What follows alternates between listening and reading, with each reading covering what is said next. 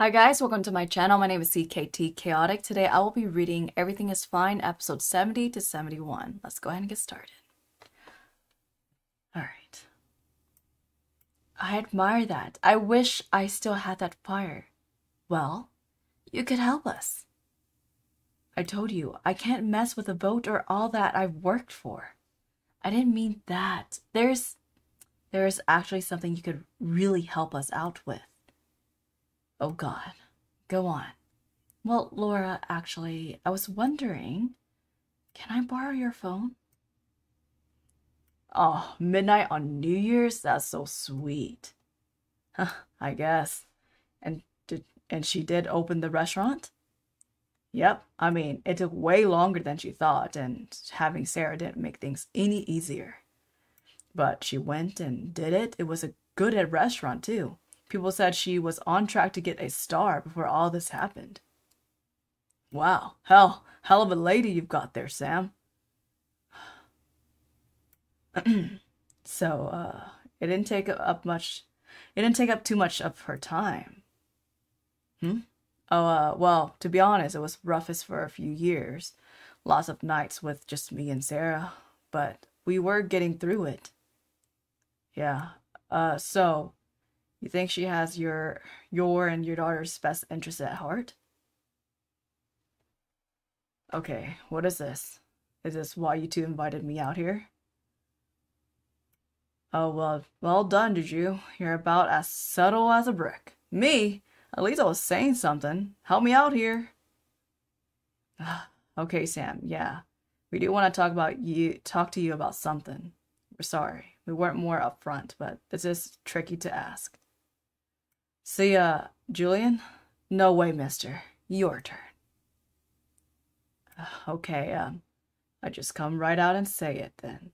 Sam, how do you feel about betraying your wife?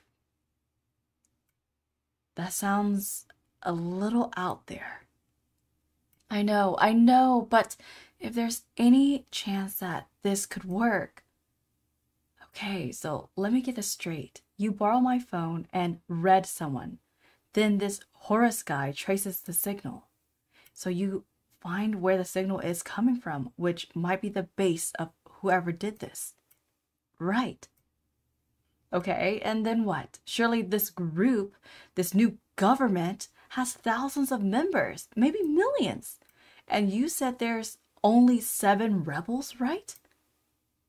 Once you find them, then what? Ask them politely to, to stop?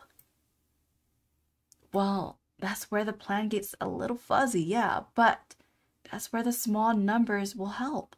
We're lightweight. We can, like, sneak in, use gu guerrilla tactics, set off bombs. Maggie, you're a chef, not a chef freaking Guevara. Guevara?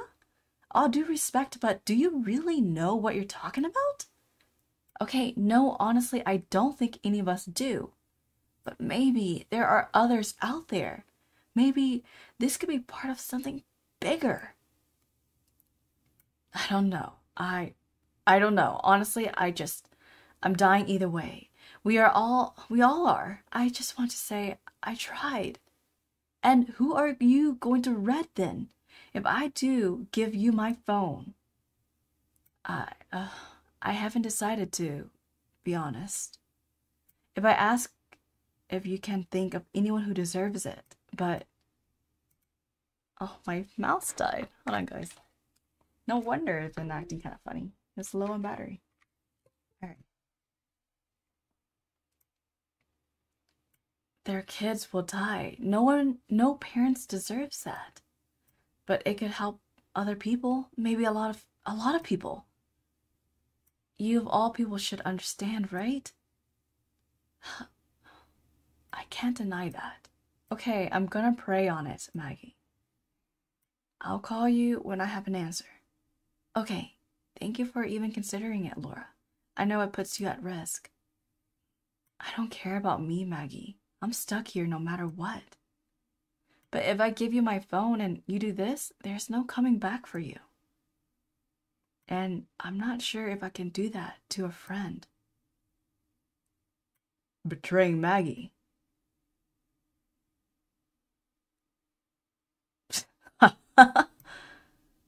Is that really why you invited me down here? Come on, guys. I've seen some wild plays, but this, actually, we don't think it's that wild. We think it's the smartest move you can make right now. Thing is, Sam, I'm still mighty sore about, you know, how you and your wife beat my best friend to death with a hammer.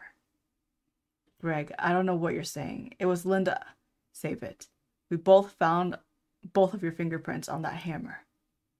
Plus, we know about you meeting with the rebels. But Sam, I think you're a good guy.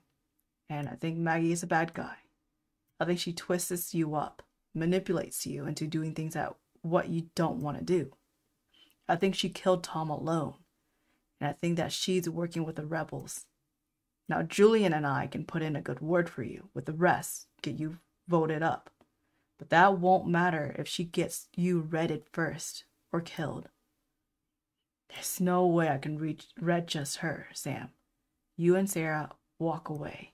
So why not just let her go? She did it alone. She threatened to kill me. It's that easy. Just say those words and all your problems are solved. Sorry, Greg. My answer's still the same. She's my wife. But more than that, she's my Maggie, man. That's like asking peanut butter to betray jelly. Sure, we're going through some stuff. Maybe our whole marriage will go down in flames. Heck, maybe she'll go she'll get me killed. I know that. But that's love. And what if she gets Sarah killed? The way she's acting, does she even care? Of course she cares. And yeah, I worry about it. There's been a bunch of times we've come close to that. But every time she asks me to trust her, I do. And look, we're still here. So I owe it to the woman I'm married to to keep trying. Maybe one day I'll find her again. Okay, Sam, I understand. I'm sorry for this. Juju? Sorry, Sam. Whoa, what are you doing? Don't make this harder than it has to be. Hey, get off of me. I'm gonna. Don't. Hey, you mother. Don't. Guys, listen to me. Think about what you're doing. You know you can't kill me if I'm not redded. well, actually, that's the thing, Sam. We won't be killing you. See, we're just so touched, touched by your loyalty to your wife, your daughter, and it got us wondering about your other family member. So let me ask you just how loyal do you think Winston is?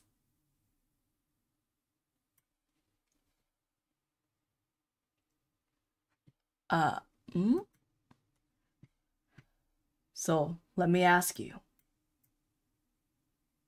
Just how loyal do you think Winston is? Why don't we find out, eh? Winston! Where are you, boy? Dinner's here. Jesus Christ, come on, Greg. We can talk about this. There's no need to kill me. Oh, did you talk to Tom first? Before you split his head open? Greg, I swear, I swear on my daughter's life, me and Maggie had nothing to do with it. It was Bob and Linda. Our prints were on the hammer because it was our hammer. We lent it to them. Okay, save it. Don't insult my intelligence. And you don't have to perform for the microphones.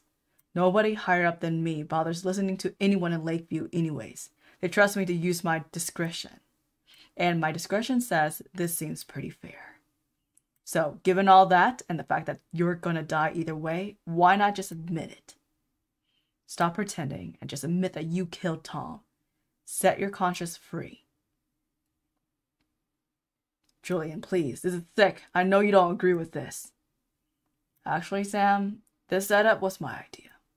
I didn't know Tom all that well, but you mess with my man and you mess with me. And after we're done here, we're gonna go get Maggie. Don't touch her. To be honest, we're always gonna kill you both, just FYI. We're just hoping to get a confession out of you for deniability for anyone asked. But hey, we can all just we can't all be perfect. Get set Seta? Seta? I don't know what that word I can't say that word.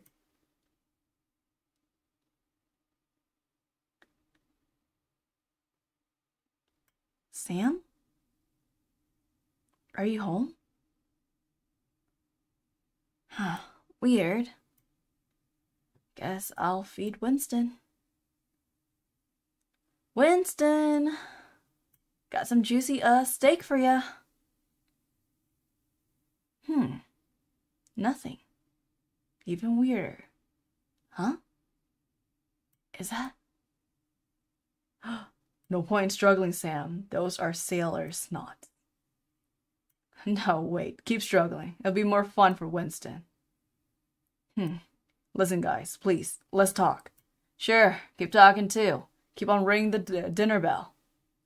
Oh, Greg, we couldn't have killed Tom if we wanted to. What about the GPS records? You found Tom's body in Bob and Linda's basement after he left our house. Did the GPS have shown if we went over there? And what about the cameras? Wouldn't they have seen us go over? So how could we have done it if we were in our house the whole time? And how would we have planned any of it? Pete Pete checked out our house. Did he find anywhere we were blocking the signal? No. okay, how's about how about this? Tom found your fold room. Either you or Maggie bashed his head in, probably Maggie. Then you took his phone and the GPS from his head. You got into his phone, which is just ill, and now this is the part I oh, I would know because I know Tom kept those recordings. We weren't supposed to, of course, but it's none of the perks of the uniform. So we, you took those recordings and clipped them up. And you, Sam, disguised yourself as him. Your head are as cl close enough color that the cameras didn't notice. You played the clip to fool the microphones, got to their basement where you planted the GPS from his head and his phone, and probably the hammer. Then you went around to the back to get home, avoiding the cameras and making it look like Tom never left. You did all that in between the 10 minutes GPS pings, of course. Same as when you took his body over later that night, again, via the back. How's that? Am I warm? Honestly, Greg, that makes no sense at all. Sure, well, in any case, it doesn't matter now. It looks like our friend has arrived. Greg, please, this is psychopathic. What are you, a supervillain? Are you seriously gonna feed me to a crocodile? A crocodile? Oh, Sam, you never saw Winston in all this time. Maggie didn't tell you? Well, guess maybe she didn't see either. He likes to stay underwater while he feeds. But every once in a while, he does like to come up. Oh my God. For the catch of the day. What on earth is that? A zombie? Why does it look like that? Why is it nude? Okay. Okay, well, Alright guys, if you guys enjoyed the way I read and reacted to this webtoon, feel free to subscribe, leave a thumbs up, drop some comments, and I'll catch you guys next time. Bye!